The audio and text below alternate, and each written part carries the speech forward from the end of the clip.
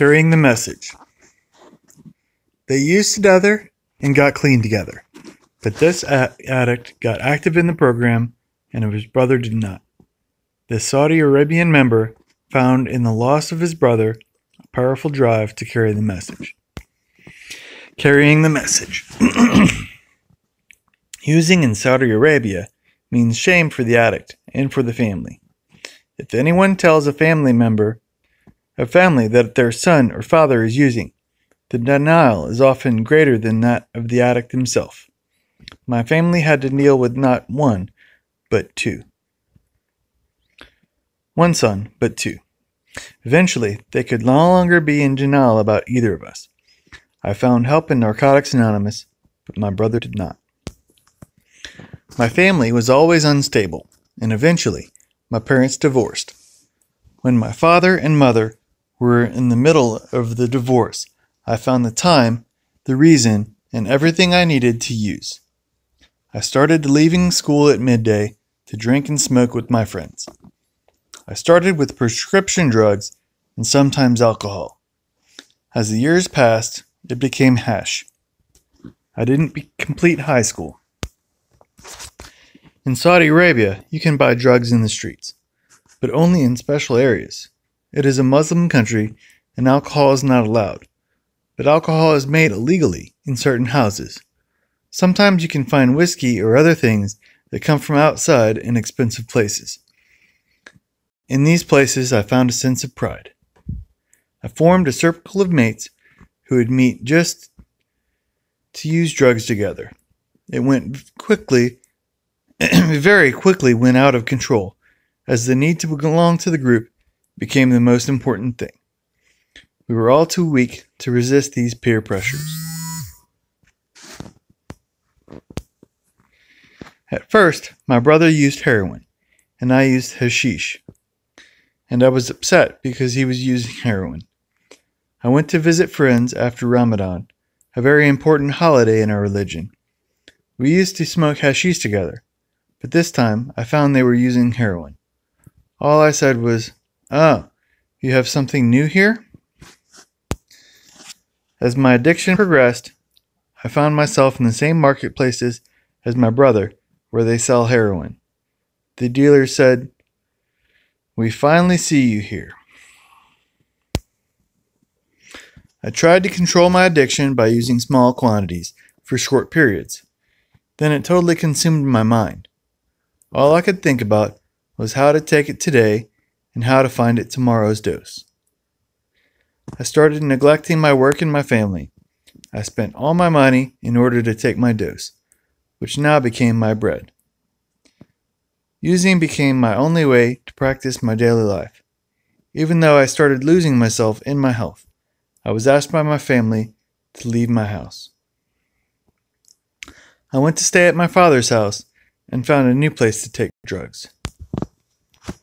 My family demanded that I give up drugs, and I promised I would, but to no avail. My sickness was stronger. My family encircled me to force me to cut my friends off. I told them I would, and then would lie and find excuses to take off and see them. In order to acquire drugs, I started stealing from my siblings' wallets and cheating my colleagues. I hurt my loved ones, but was unable to stop. My life deteriorated.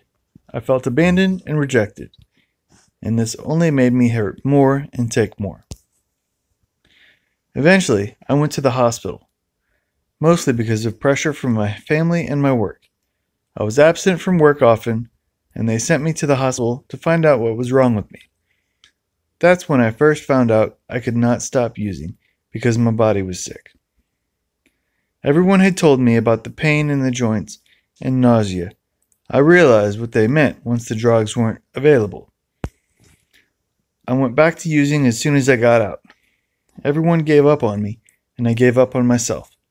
But my prayers to God, even under the influence of drugs, had an effect on me.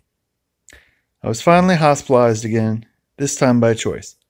When I felt that the drugs stopped working in the hospital, I was forced to attend meetings brought in by an NA's Committee for Hospitals and Associations. the equ- equivalent of hospitals and institutions elsewhere. I used to take drugs with one of the speakers. I rushed to him after the lecture to find out how I managed to stay clean all that time. His answer was through the NA program. He told me that after I got out of the hospital, he would take me to NA meetings. When it was time to leave the hospital, he took me to my family, then to a meeting. I was astonished by the welcome that I got for the meetings, after I had been rejected by everyone else. I was amazed by the similarities of the sickness and suffering, and by the varied lengths of clean time of the members. During the meeting, I was asking myself if I could really be like them. The answer was yes. I had become like them, and I belonged to them four months.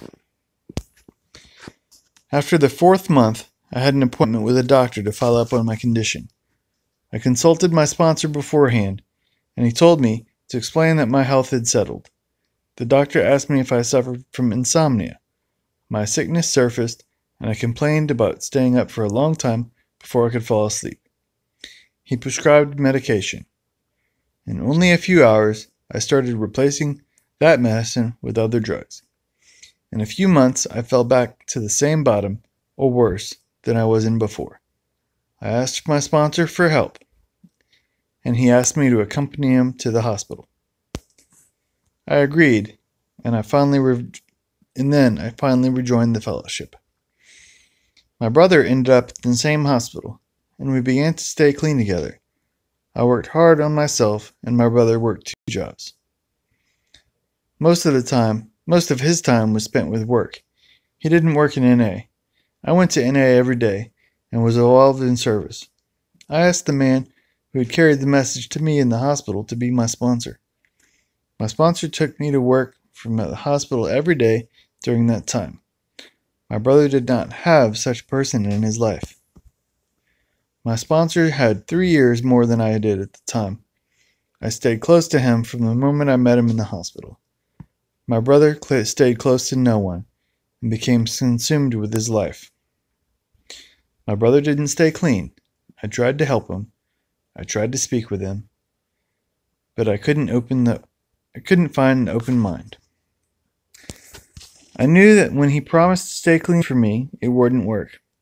Our wives are sisters, and when they came to visit, I saw that he was using. I sent some friends to talk to him because I thought I might not be the best one to help him. I would feel nervous talking with him and maybe, if it wasn't family, he would be more relaxed. The last time he went to the hospital, when he went to Umrah, our small pilgrimage, he looked good. I never saw him alive again. I was with my family, with everyone, when we found him dead from a relapse. I said, I tried, I tried to help you, but I know the disease was stronger. I felt so sad I couldn't help him. This has made me more active in my recovery and has helped me with the members I sponsor and the members I try to carry the message to. It has been two years since I lost my brother to, to the disease of addiction. The message that I carry is that my brother and I use drugs together. He stopped using for seven years with me, but he wasn't coming to meetings regularly because he was consumed with his personal life. He was facing its hard conditions without attending meetings or working the steps. Even when he gave up on himself, the NA Fellows never gave up on him. He ended up relapsing, and in his last relapse, he gave on up his last chance at his life. It was his last dose, and he died like others did before him. It is the end of our sickness. We know we can't force the addict to recover. We can only carry the message to every addict still suffering the sickness of addiction. I thank God He showed us the way to, to, to NA fellowship. Today, thank God, with the help of my sponsor, I've been clean for 11 years. I stayed clean through the death of my brother. I've been able to use that pain to help others. I have a job and family that make me proud. I no longer need to live in shame. Today I found the connections with my family and friends in the NA program that I was looking for in the drugs. Today, the message that we carry in Saudi Arabia is that our addiction is not something we need to be ashamed of or embarrassed by. The message that we carry is that an addict, any addict, can stop taking drugs, lose the desire to use, to take them, and find a new way to live. Today, there are addicts recovering in Saudi Arabia. Thank you, NA.